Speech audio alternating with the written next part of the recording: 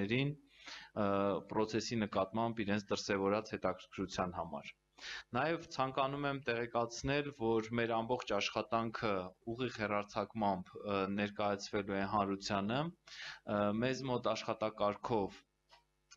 գրված է, որ սա պետք է լինի խորհրդի որոշումը, հետևաբար մինչև մեր մյուս գործընթացներին անցնելը ես կուզեի հարցնել խորհրդի հարգաժան անդամներին, կա առարկություն, որպիսի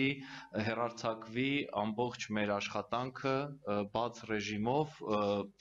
համապատասխան կայքերով եւ լրատվամիջոցներն էլ հիմա գտնվում են հարևան սենյակում եւ իրենք նույնպես հետեւում են ամբողջ գործընթացին։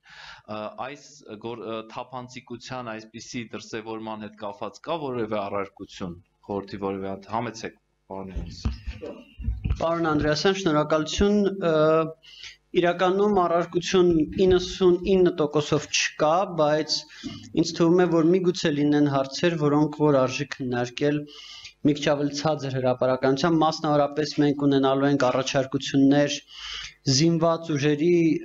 սահմանադրական կարգավորումների մասով, որոնք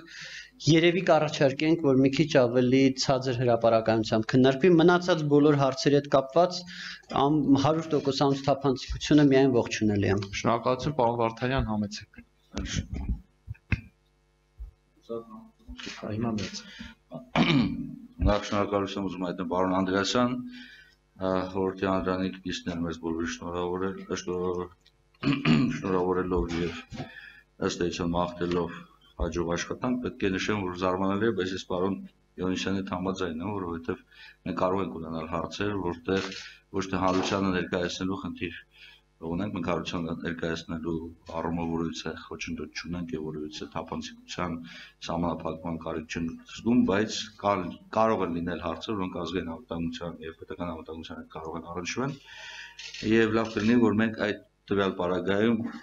այլ որոշում կայացնենք։ Մոտեցումը լինի իմ մոտեցումս հետեւյալն է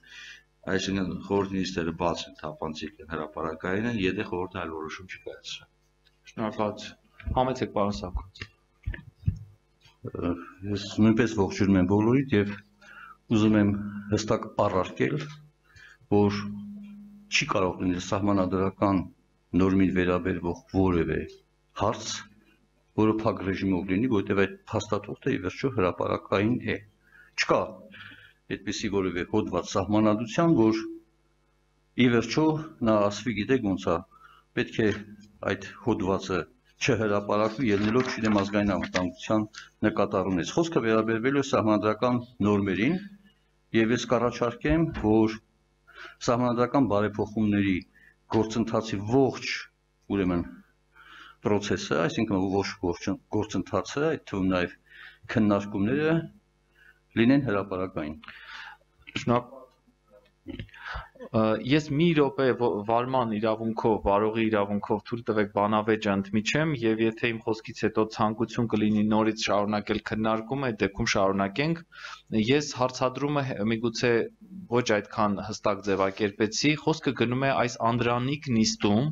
եւ հենց հիմա մեր ունեցած օրակարգով, որը արդեն բաժանվել է նախապես բոլոր մեր գործընկերներին, այսօրվա օրակարգային հարցերի հետ կապված կա որևէ մեկի մոտ դիտարկում, որ պետք է անել փակ ռեժիմով։ Որքանով ես հասկացա, բոլորը կողմ են, որ հիմա մենք շարունակենք բաց ռեժիմով ուղիղ եթերի դրամաբանությամբ, եւ եթե կլինի որևէ անգամ օրակարգում հարց, որ որևէ մեր գործընկեր կուզենա փակ ռեժիմով, այդ դեպքում մենք կքննարկենք դա առանձին։ Եթե դեմ չեք, հիմա ուղղակի շարունակենք արդեն մեր օրակարգը։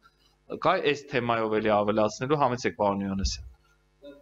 Շնորհակալ եմ։ Ես ուղղակի ուզում եմ հստակեցնեմ, որ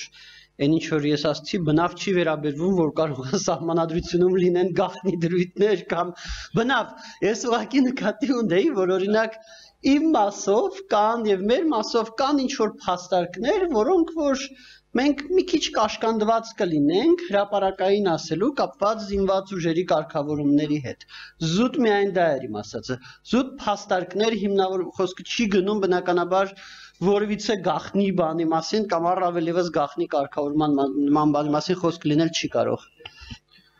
Շնորհակալություն։ Ուրեմն, եթե առարկություն չկա, մենք շարունակում ենք բաց ռեժիմով, ուղիղ եթերի ռեժիմով աշխատանքը, նաև ուզում եմ այդ կապակցությամբ շնորհակալություն հայտնել մեր կողքի սրահում գտնվող բոլոր լրագրողներին իրենց հետաքրքրության համար եւ շարունակելով արդեն բացման իմ խոսքի հնարավորությունից օգտվելով ես կուզեի